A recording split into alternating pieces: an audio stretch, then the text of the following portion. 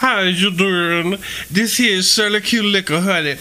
Last night, me Watusi was sitting up reliving the old days when we used to have the moonshine steals. You remember that, Gus? Way back yonder up in the hills of Tennessee. You know that the corn won't grow at all on Rocky Top. The dirt is too dirty and rocky by farming. That's why all the white folks on Rocky Top drank their malt liquor from a jar. Ignorant up there on Rocky Top. Ain't one of them got near liquor sense. Uh-uh. Oh, Rocky Top, you'll always be home, sweet home for me. Good old Rocky Top. Oh, Lord, Rocky Top's Tennessee. Come on, stomp,